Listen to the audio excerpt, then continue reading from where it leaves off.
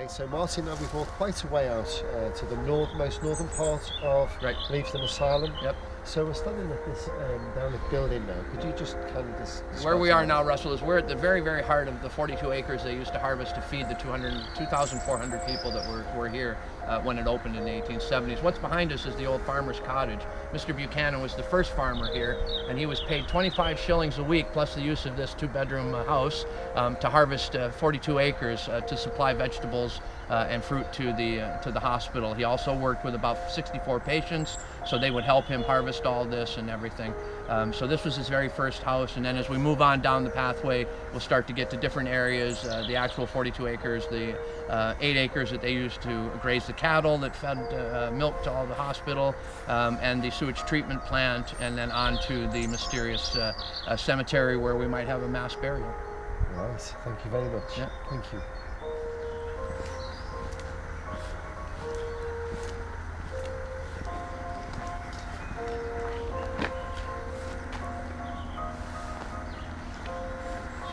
Where we are right now is we're on the very, very north side of the park. This is where they had the cemetery.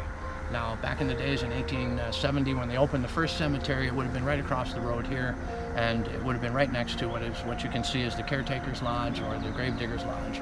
Um, now, they only had they only had that uh, that grave uh, site in 1870. They only had that for about 16 years, and then they mysteriously asked for another what, 1,192 square yards. So they could have another cemetery. Well, we come to find out during our investigations and everything, there was a bit of a problem with the watering system. What they ended up doing was accidentally poisoning themselves with cholera. So they pumped poisoned water up to the up to the hospital, causing a cholera epidemic, and they actually needed to find a new place to put a mass grave because they had so many people that had passed away from this. This was about 1898. So we have the records over in Hertfordshire um, Historical Society. We have the records there. In 1905, the Diocese of St. Albans uh, authorized the move of the cemetery and consecrated the ground that's right behind us. So this Lich Gate right here, although it says 1886, was actually across the road at the very second uh, cemetery. Yeah. Um, so that was there in 1886. Then they moved it across the road in 1905 when they opened up this cemetery. So it's very interesting that they would have had to have only had a cemetery for about six years and then suddenly move across the street. So let's go take a look inside this cemetery here. Sure.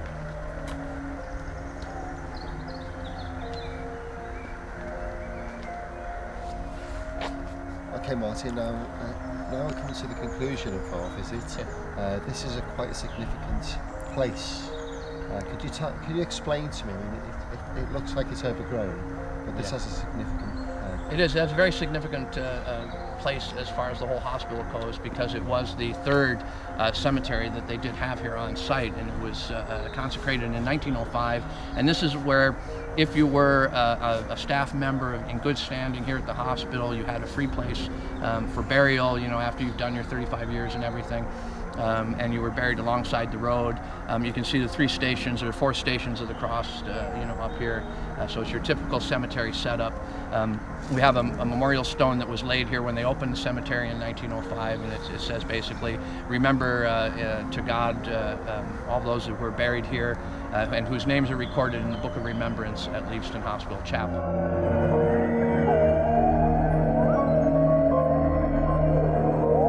Unfortunately, we've never been able to find that original um, Book of Remembrance. We're still looking for it.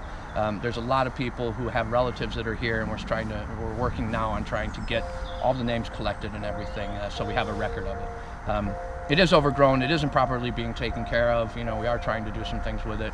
Getting the local district council to take responsibility for this area and just not let it uh, go to waste, um, because it is a very memorable place. We still have people that uh, that contact us from all over the world, with relatives that may be here. They're they're doing uh, you know a genealogy research and they want to know if their great grandmother is here or not. So we're trying to help with that, and so we're going to be working to um, put some names together and, and really you know try and try and find out who's here and and make a record of their their their, their last resting place. So it's going to be quite an adventure.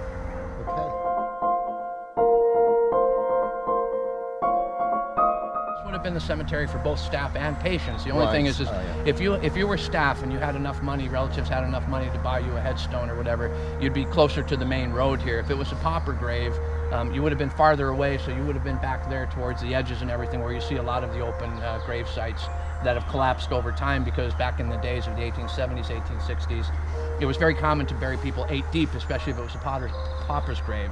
Um, so that's what they did around here. That's why we unfortunately have a lot of the collapsing graves and everything, and no record of actually who's there because they couldn't afford headstones and everything. So that's why we're trying to look for some paper records, um, either through the current NHS record system or with private uh, collectors and everything. So, um, so yeah, that's that's what we're trying to do. So we know that Aaron Kosminski was taken uh, Yes. by his brother Wolf to Yep. East Ham Cemetery. We're standing here, um, you're telling me that this is um, the staff graveyard, but also the inmates, or say patients, uh, or even residents, or even service users' graveyard. Yep. Um, we can see here a, a wooden headstone. Right. Uh, so this this would be Eliza Weeks. She's um, one of the noted ones. Now, this is a wooden headstone that we had. Now Eliza worked for the hospital over 30 years. She passed away in 1917 at the age of 62. So she would have had an honored honored place here for having so much service with the hospital, um, as everybody did. Um, so this is just an example of how they used to take care of everybody.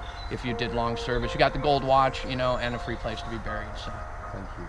Now also, uh, as I've noticed we've walked around, we can see that um, certain pockets uh, s- dates are all around the same time. So if Aaron Kosminski wasn't taken from, uh, his body wasn't taken from Leavesden Asylum by his brother Wolf, um, he may have been buried in this section, you say? That's right. If if Aaron Kosminski was actually left here and he had not been taken away, um, because of the way they would have organized everybody in the same times, you know, passing away in the same years or close to or whatever, it's a good likelihood that Aaron Kosminski would have buried, been buried right over in the northwest corner over there in the pauper section. in the pauper section.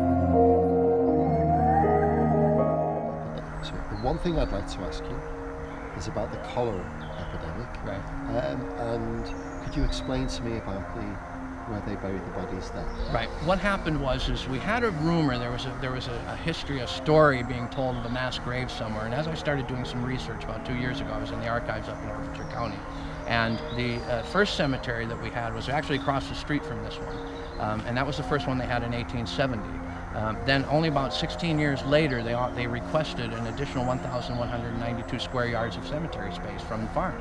Well, that's kind of odd because you wouldn't have filled up a cemetery in 17 years just with the normal rate, you know, especially if they were burying everybody eight deep. You would have had a lot of room for many years. Um, so what we found out during the records was is also during that time they requested money for the investigation of the water system. They also wanted to investigate a fever outbreak. Now, if you put that all together, they requested more space. They- didn't really fill the space that they had in the in the first you know instance when they first opened the hospital. They were investigating the water and they were investigating a fever outbreak. Then all of a sudden, they have six years later, they move all the way from that, and now they're across the re- where we are here in 1905 in the new cemetery. So if you put that all together, that's a pretty good uh, explanation for where the mass grave might be. We don't know how many people are there. We don't know how many people really died, but it is the one area in all of the park, in all of this this site now, that is restricted uh, as far as access to. No one's allowed to go in there. You're not allowed to develop it. You're not allowed to sell it. You can't do anything with that land. So there's restrictions on the land. Um, you know, the time frame just shows that something happened and uh, they had to move away from that quite quick. So I think that pretty much solves the mystery of where the mass grave is. Listen, Martin, thank you ever so My much pleasure. for your time. Thank you. Thanks.